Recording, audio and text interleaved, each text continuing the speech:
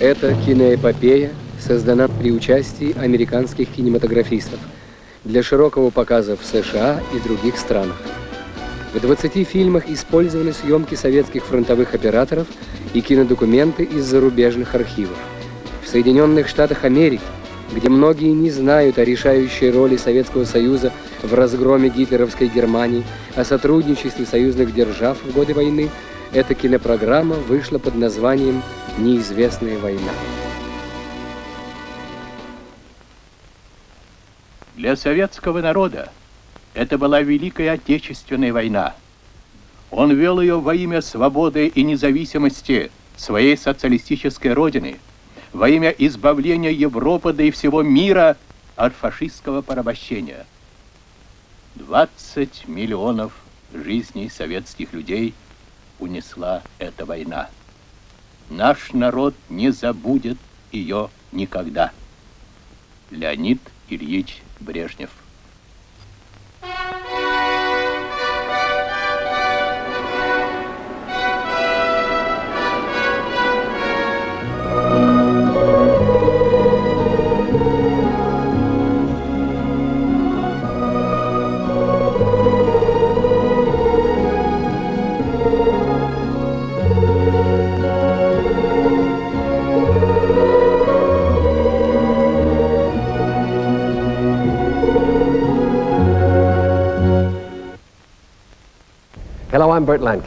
В Соединенных Штатах Америки кинопрограмму комментировал артист Берт Ланкастер. В этом фильме вы не увидите сражений и больших военных операций. Это рассказ о простых советских людях, которые, не щадя себя, снабжали армию танками, самолетами, оружием, всем необходимым для победы в борьбе против фашистов. Как мало нам известно о планомерной эвакуации более чем 1500 советских заводов с пути гитлеровских армий. На платформах поездов, на грузовиках увозили разобранные на части завод за заводом. Далеко на восток, за Урал, в Сибирь, сюда, в Среднюю Азию, где заводы вновь собирались.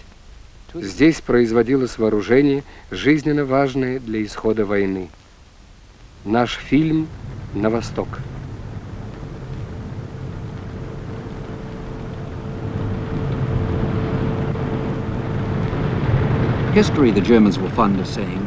История, внушали немцам, познается через дуло пушек. Им предстояло на себе потом испытать истину этой догмы. Кадры нацистской хроники. Еще со времен Бисмарка милитаристы мыслили категориями огня и меча, и уже к весне 41 -го года гитлеровцы были готовы к походу на восток. Их заверили, что Советский Союз уже созрел для гибельной жатвы.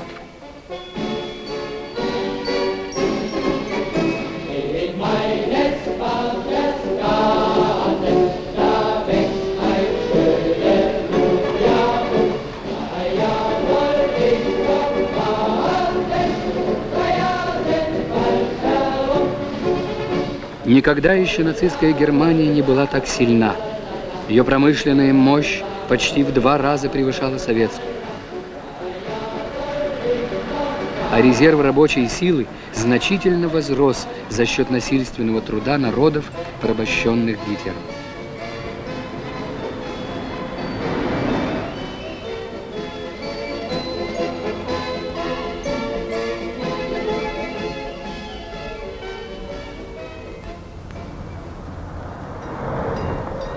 Весне 41-го Германия находилась в зените своего могущества.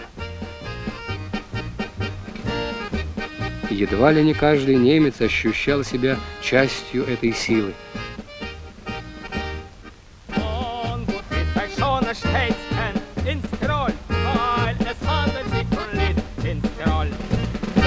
Они чувствовали, их время пришло.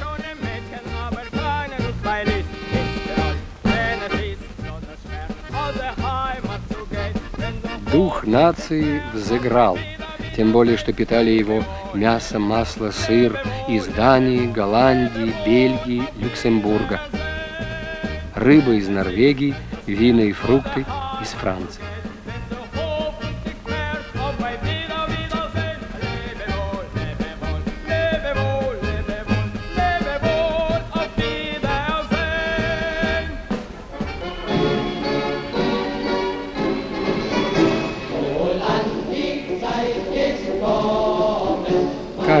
Вкусил от изобилия, которое принесла с собой гитлеровская агрессия.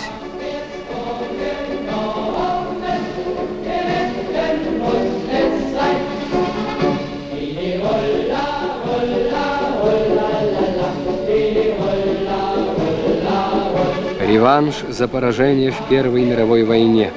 Используя этот лозунг, Гитлер сделал своих верноподданных хозяевами почти всей Западной Европы. Германия, Германия превыше всего, распевали они.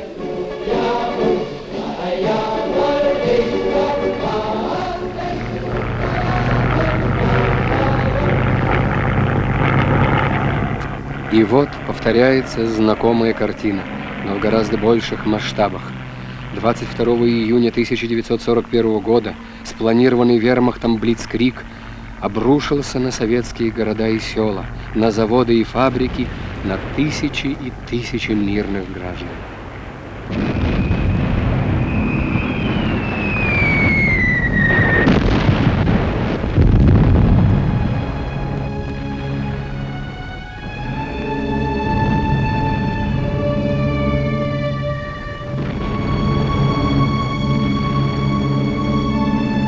какое-то мгновение их привычный мир был разрушен.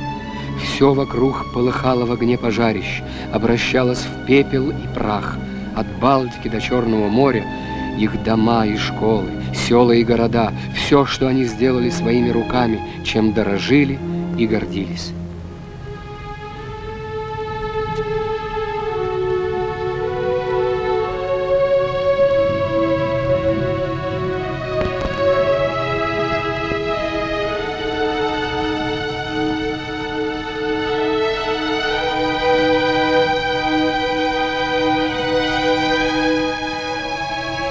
Страшная беда погнала их с родных мест, только бы не остаться в оккупации.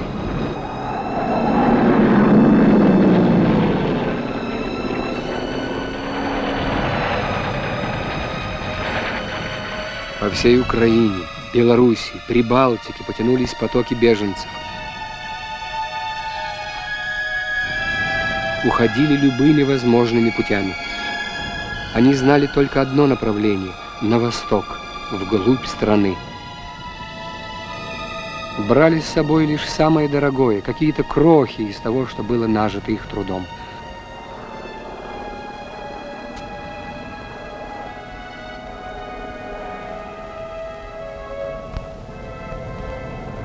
Сотни, тысячи, сотни тысяч человеческие потоки сливались в реки. У железных дорог под бомбами фашистских самолетов терпеливо ждали они единственного шанса на спасение.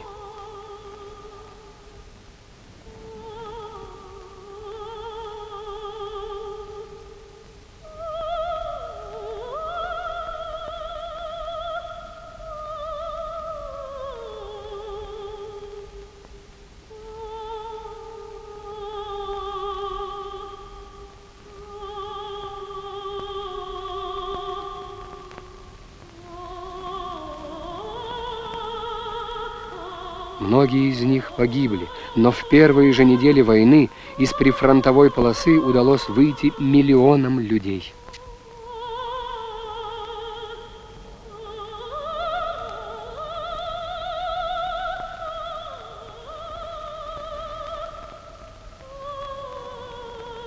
А порой приходилось бросать даже то малое, что они успели взять с собой.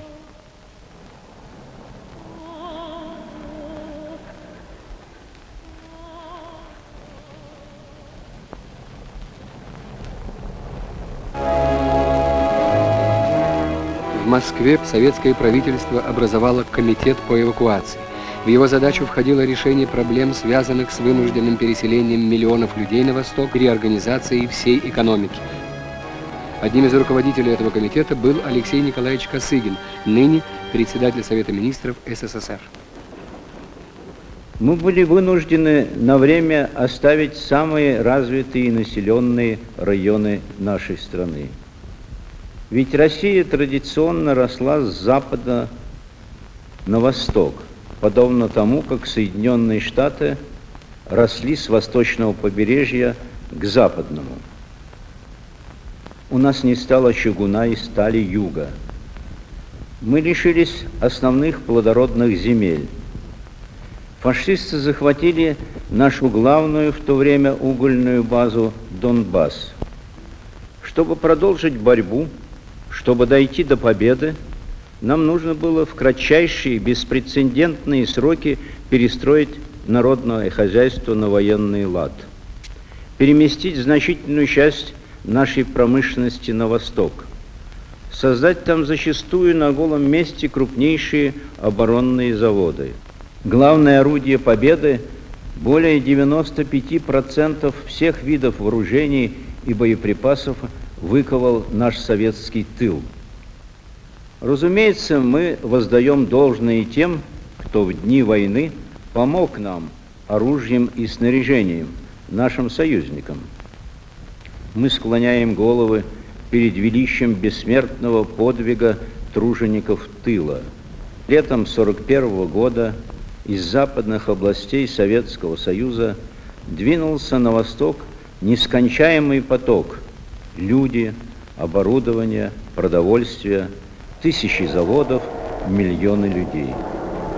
Задача была почти невыполнимой – демонтировать конвейеры, снять все оборудование, погрузить его на поезда и пароходы, завод за заводом, в то время как раскаты орудий приближались все ближе и ближе. Леонид Ильич Брежнев руководил эвакуацией на юге Украины.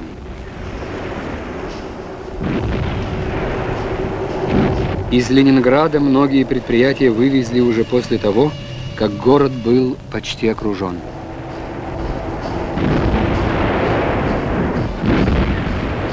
В Брянске для эвакуации только одного завода потребовалось 30 тысяч вагонов.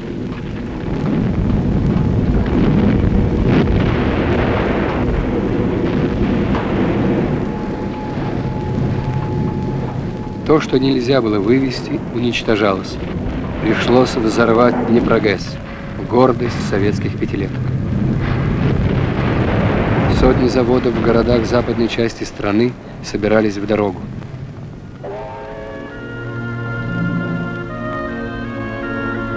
Уезжали рабочие вместе с семьями.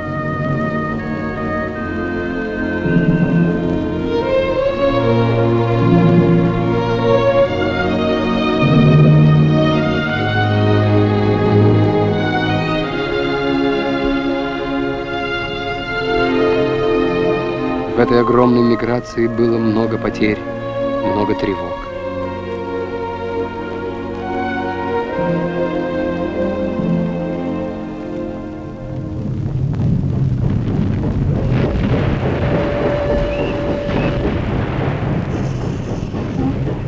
Делали все возможное, чтобы спасти произведение искусства.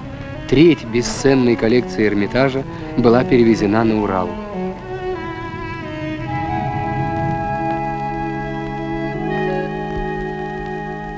Татьяна Соколова работала в те дни в Эрмитаже.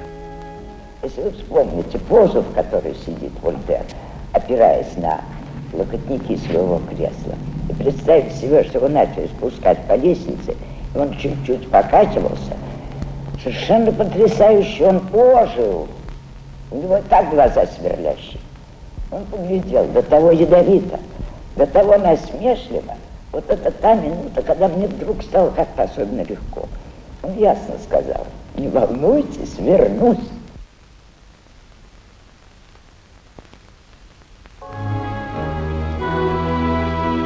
Последний раз эти тракторы и комбайны проходили по колхозным полям. Их отправляли на необжитые земли в восточные районы страны.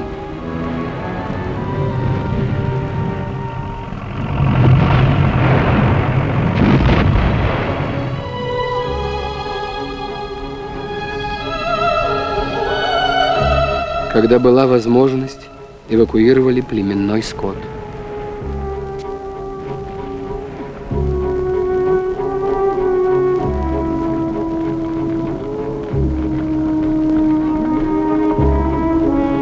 Они спасали от приближающегося врага все, что могли. Жгли хлеб, возвращенный их потом. Закапывали его, надеясь скоро вернуться.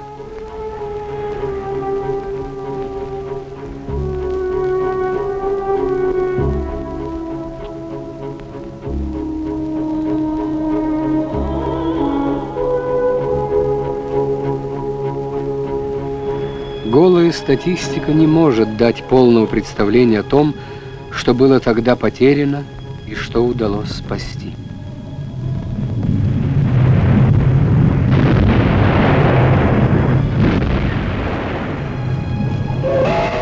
Советские железные дороги, одни из самых протяженных в Европе, имели большой парк вагонов и локомотивов.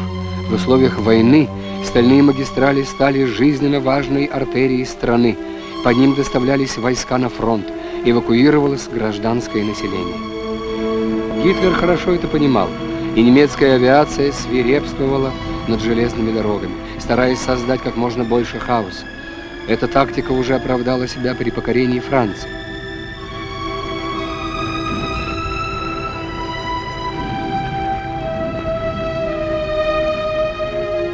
День за днем, неделя за неделей фашисты громили железные дороги и станции. Здесь было так же опасно, как и на линии фронта, но нельзя было ответить ударом на удар.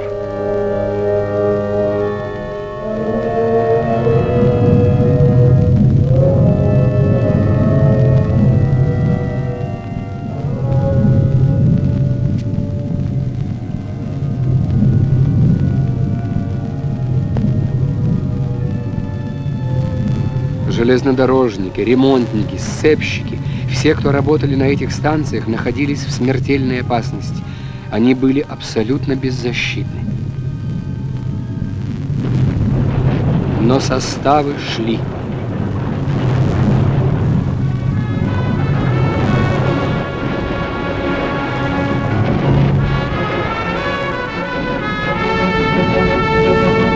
К счастью, немцы во всем были педантичны. Они придерживались твердого расписания в своих налетах и появлялись, как правило, вечером, так что эшелоны удавалось иногда заранее вывести из опасной зоны.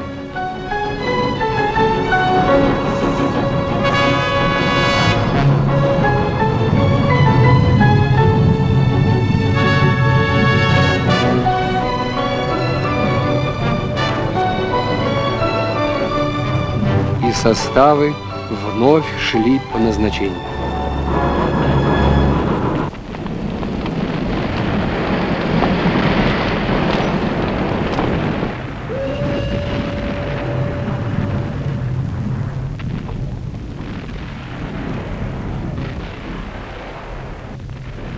Несмотря на опустошительные бомбардировки, завалы на железных дорогах расчищались. Путь на восток и запад был вновь открыт до следующего налета.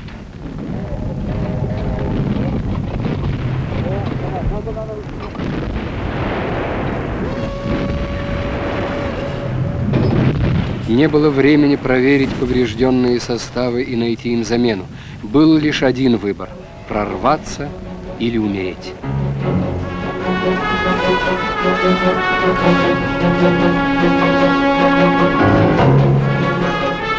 you.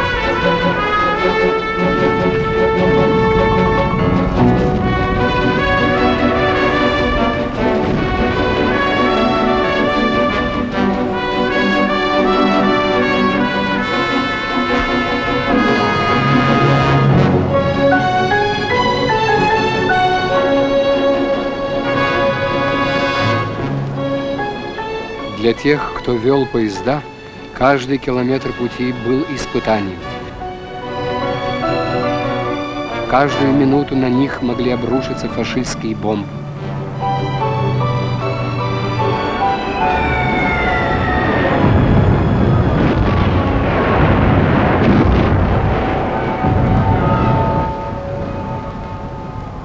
Елена Чухнюк водила тогда состав. Ну, я сначала не знала. Думаю, ну что такое? Вот шатает вот так вот паровозы и вагоны, все. А это через нас летели снаряды большие. Вы понимаете, и вот когда летят большие снаряды, и от воздуха его шатает, и вагоны, и паровозы. Ну, я, значит, выехала на перегон и набрала скорость большую. И вижу, что самолеты над головой, думаю, сейчас начнут бросать бомбы. Я раз резко затормозила. Ну, а он рассчитывал, что я буду, значит, э, ехать быстро. Он, ну, значит, он полетел, бомбы все впереди легли, а мой состав сзади остался. Ну, были такие случаи, что наоборот, э, заторможу, тут же он меня разбомбит. Как бывало. А под Сталинградом у меня все сгорело даже, и все платья, все, все. Так что мы остались в одних комбинезонах.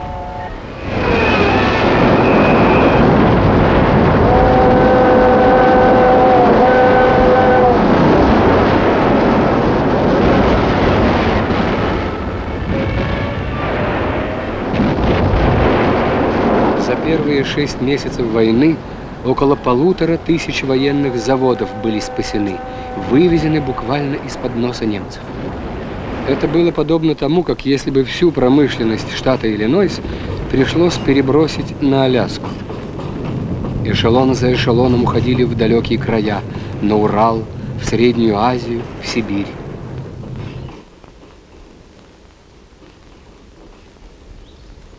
Даже не верится, какая странная тишина –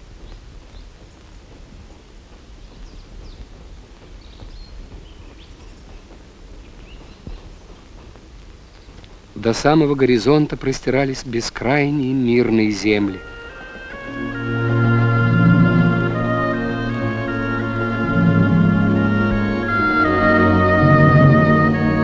Полтора миллиона вагонов потребовалось во второй половине 41 -го года, чтобы перевести сюда людей и оборудование.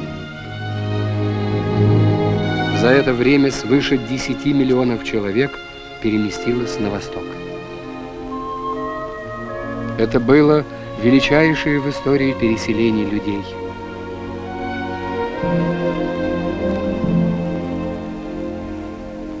Их встречали как родных, делились с ними последним, отдавали все, что имели. Люди трудились плечом к плечу, чтобы как можно быстрее пустить заводы. Над цехами еще не было крыш, а уже выпускались танки и самолеты.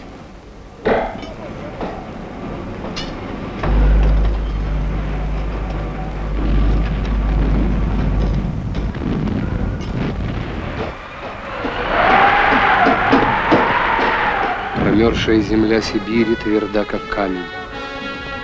Ее приходилось взрывать, чтобы закладывать фундаменты новых заводов. Руки строителей примерзали к металлу. Не хватало бетона и стали, но они работали ночами напролет при свете факелов и коптилок,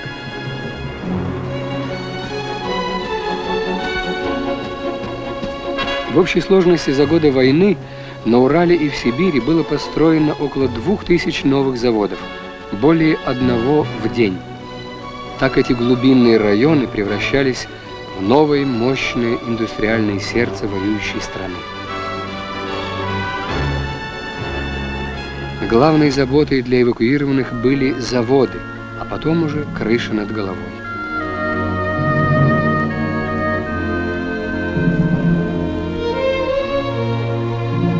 Люди, до сих пор не знавшие друг друга, жители Москвы, Ленинграда, переселенцы с Дона, делили теперь и кров, и стол.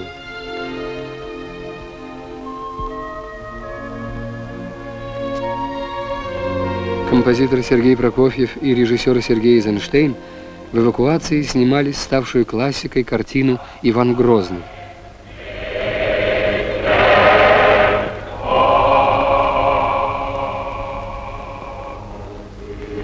Этот фильм обращался к патриотическим чувствам людей и призывал к упорной борьбе против захватчиков.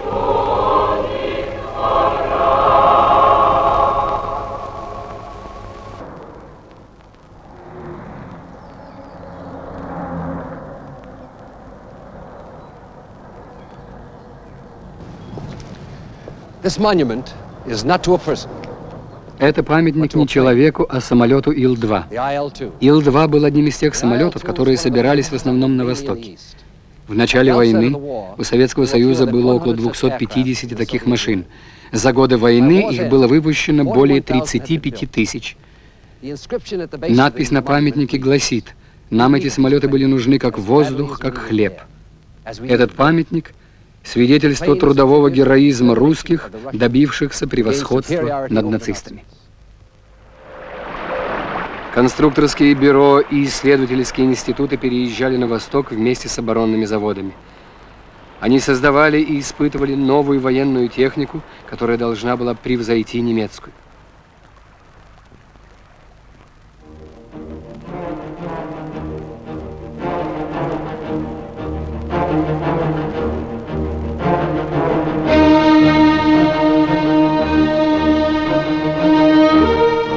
Русских была блистательная плеяда авиаконструкторов. Яковлев, Туполев, Лавочкин, Поликарпов. Сергей Ильюшин, создатель знаменитого штурмовика Ил-2. Его мотор, бензобаки и кабина экипажа были защищены броней –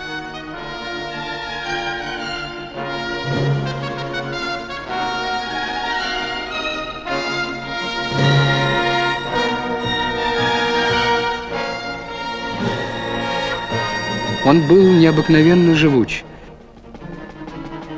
Ил-2 оказался весьма эффективным в борьбе с танками противника. «Черная смерть», так окрестили его гитлеровцы. Советские бойцы назвали этот штурмовик летающим танком. У руководителей новой военной индустрии на Востоке было множество проблем. Резко снизилось производство высококачественной стали. Был потерян донецкий уголь. Дмитрий Федорович Устинов в те годы был одним из руководителей военной промышленности. Ныне он министр обороны СССР, маршал Советского Союза. Я в те годы, молодой инженер, был назначен в партии на пост Народного комиссара вооружений. И сейчас я с большой теплотой и гордостью вспоминаю дружную работу – самоотверженную работу всех коллективов рабочих, инженеров, конструкторов, всех тех, кто своим героическим трудом ковал оружие победы, с кем мне довелось работать плечом к плечу. Да, условия действительно были труднейшими. Однако, несмотря на оккупацию значительной части территории нашей страны, нам удалось не только увеличить выпуск оружия и боевой техники, но и добиться как количественного, так и качественного превосходства над вооружением противника. В годы войны все советские люди на фронте и в тылу жили единой мыслью – разгромить врага. Успех в тылу рождал победу на фронте. И фронтом была та линия, которая проходила через сердца солдат на передовой и тружеников тыла. Советский Союз в эти годы совершил буквально новую промышленную революцию. За необыкновенно короткое время на Востоке с конвейеров стали исходить новые виды вооружений –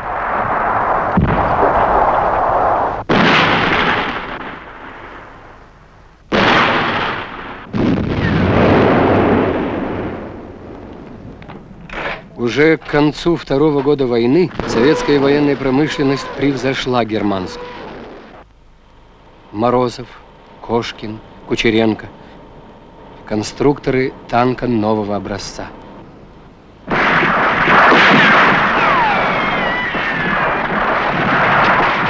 Их танк Т-34 – шедевр военной техники, превосходивший любой тип немецких танков. Он обладал большой маневренностью – был защищен надежной броней и оснащен мощным вооружением. В 1940 году их было всего 115. В 1942 году советская армия уже получила 12 520 таких танков.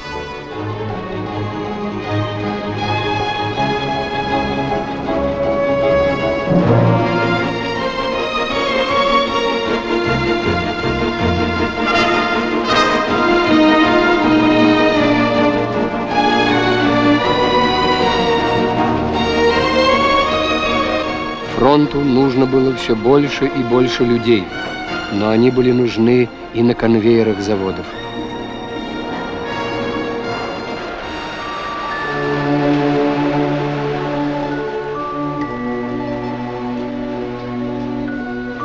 В цеха вернулись ветераны. И подростки переняли у своих учителей не только рабочее мастерство и хватку. Они учились жить и трудиться, как взрослые.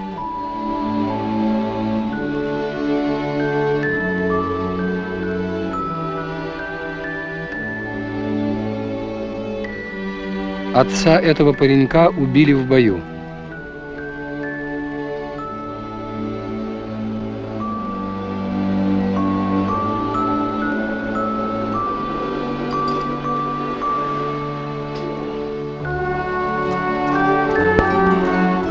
Мальчиков вспоминает. Росточка я был небольшого, соорудили мне подставку, чтобы удобно было на огромном станке работать.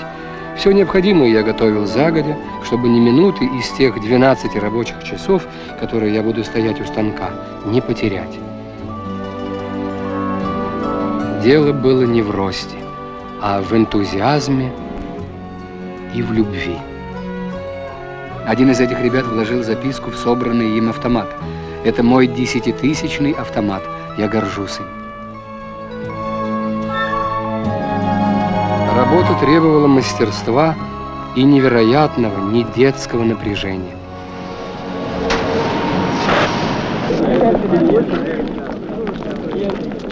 Но большинство работающих были, конечно, женщины.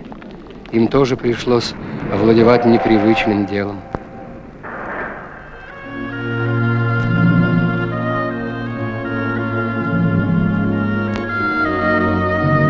Работали по 14 часов на заводе, а потом дома. Нужно было готовить, ухаживать за детьми и стариками. Прибавьте к этому скудные продовольственные пайки военного времени и самое страшное сообщение с фронта.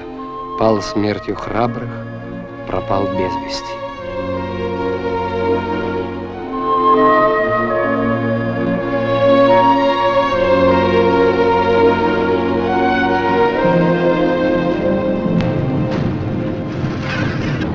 До этого женщины не работали у доменных печей.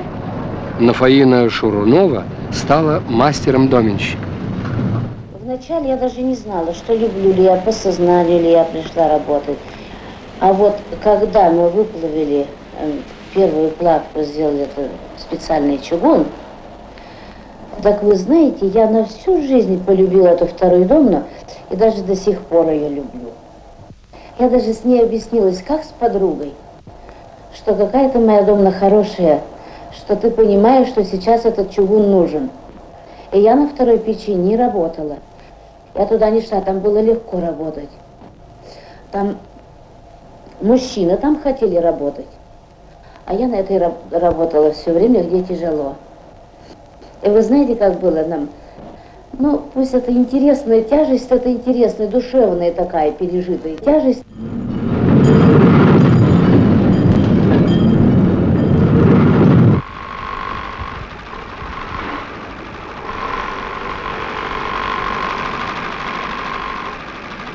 Сотни миллионов гимнастерок, шинелей, рукавиц, сапог сделали эти руки. Они одевали и обували армию.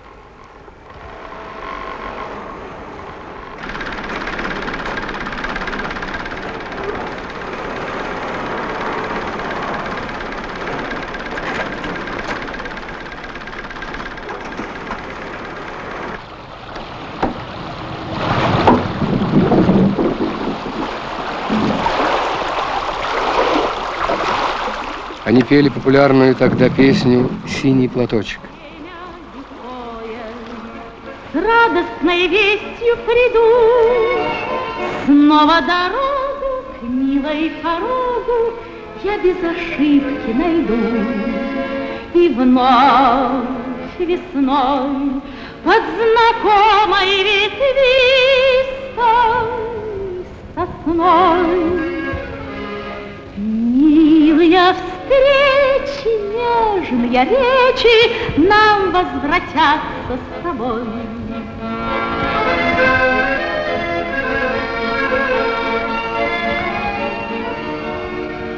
Милые встречи, нежные речи нам возвратятся с тобой.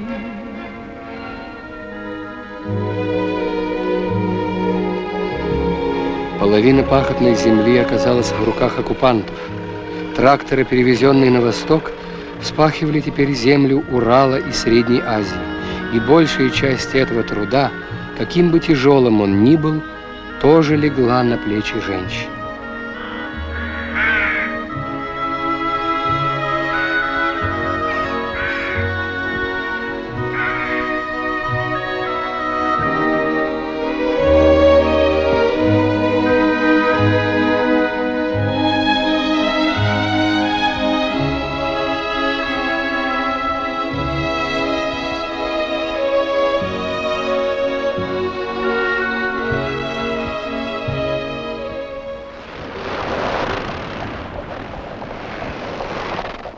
Словно принесенных ими жертв было недостаточно. Люди отдавали стране, фронту все ценное, что у них было. Семейные драгоценности несли казашки, узбечки, киргизки, украинки, русские.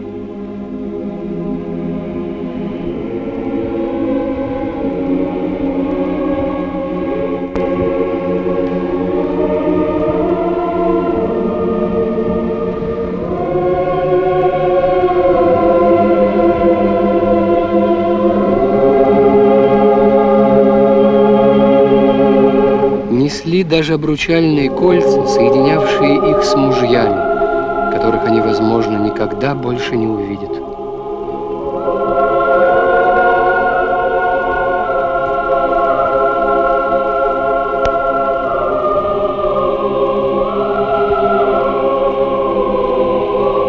Золото, серебро, драгоценные камни, целые тонны. На них приобретались танки, пушки, боевые самолеты. Многие вносили в фонд обороны деньги, свои трудовые сбережения. Общая сумма составила 16 миллиардов рублей. Отдавали то, что годами, десятилетиями, отказывая себе во многом, откладывали на новый дом, на корову, на мебель, на свадьбу.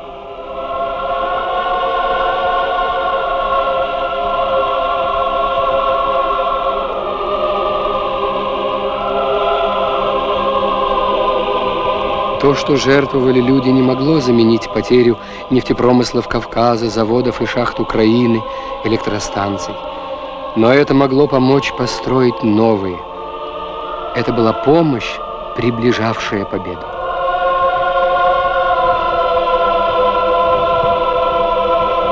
Материальные ценности значили куда меньше, чем победа. Победа любой ценой.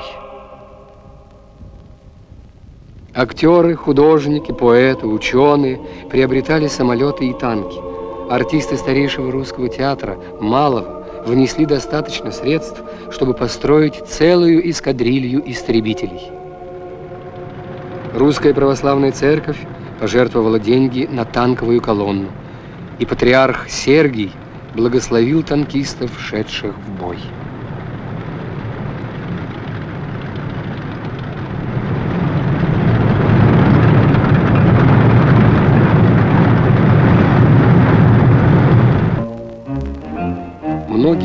Становились тогда легендой.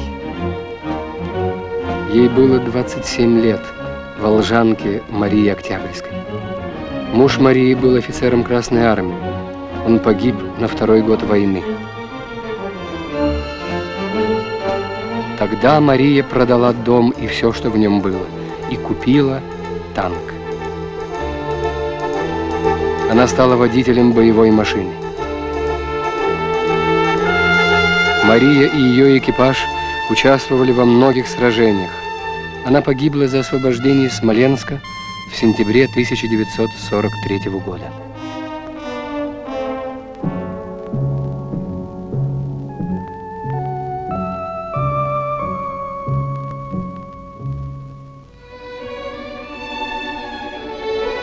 Марию Октябрьскую похоронили со всеми воинскими почестями.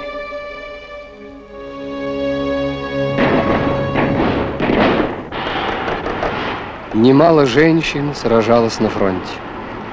Но главная их забота была в тылу, на фабриках, на военных заводах. Многие после смены приходили еще в госпиталь к раненым бойцам.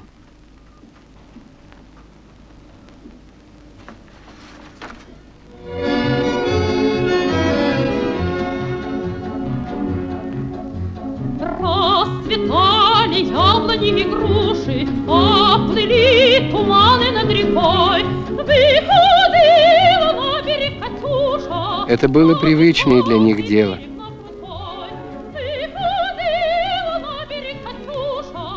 Те, кому они приносили утешение, не забудут, чьи руки облегчали их страдания.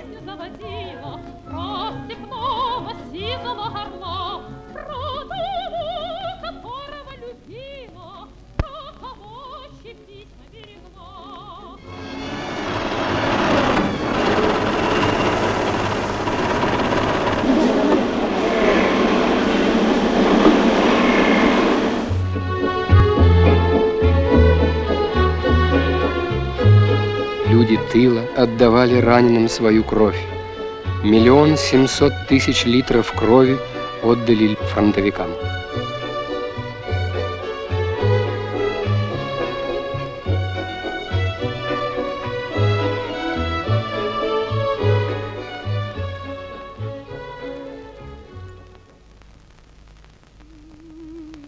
Но самой тяжкой, как всегда при великой беде, была доля детей.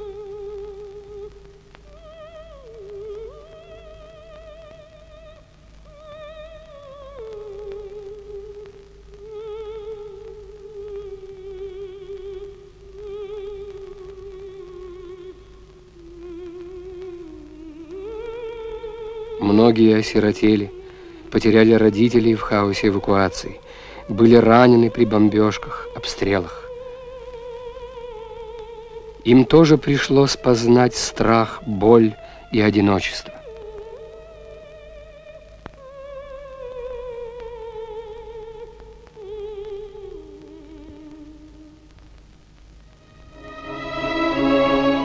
Незнакомые люди брали их в свой дом, в свои семьи. Брали, отказывая себе во многом, а жизнь была суровой и скудной, время-то было военное. Брали горожане и жители сел, люди разных национальностей, разных профессий.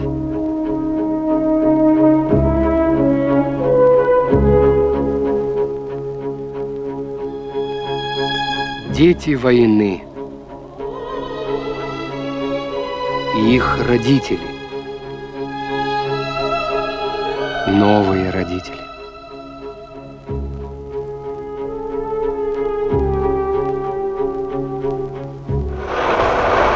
Это был беспрецедентный в истории подвиг. Переместить большую часть экономики и огромные массы людей на новые территории за тысячи километров. Создать там промышленный потенциал, равный целой индустриальной державе. И в конце концов превзойти по выпуску продукции все заводы Гитлера и его сателлитов. В конце 42 года в ходе войны начался коренной перелом – и достигнут он был советским оружием. Почти 100 тысяч танков, более 100 тысяч самолетов, сотни тысяч пушек, миллионы винтовок и пулеметов, десятки миллионов тонн боеприпасов. Потери и лишения рождали непреодолимое упорство. Люди становились не слабее, а сильнее.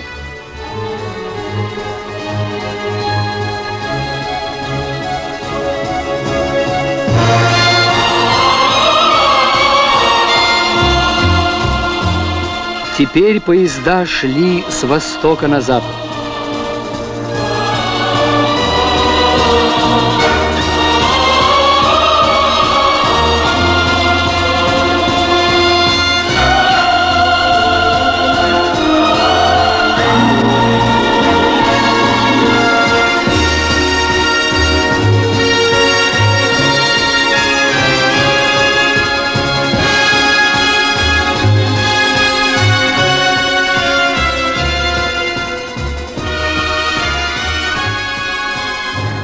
Без помех, на полной скорости.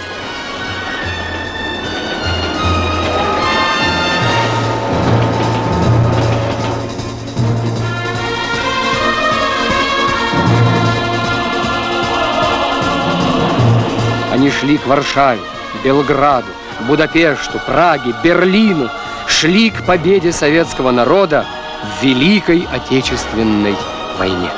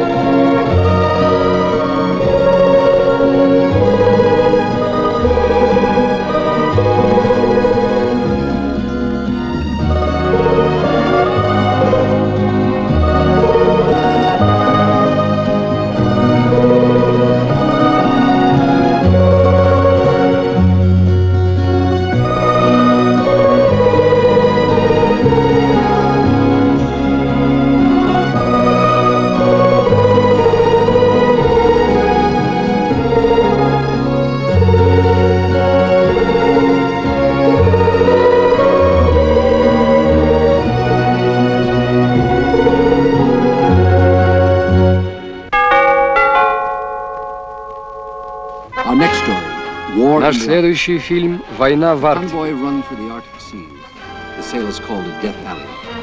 Опасный путь конвоев через арктические моря называли «дорогой смерти». По нему доставлялись из Соединенных Штатов Америки танки и пушки. И на крайнем севере, в Арктике, проходили сражения Великой Отечественной войны.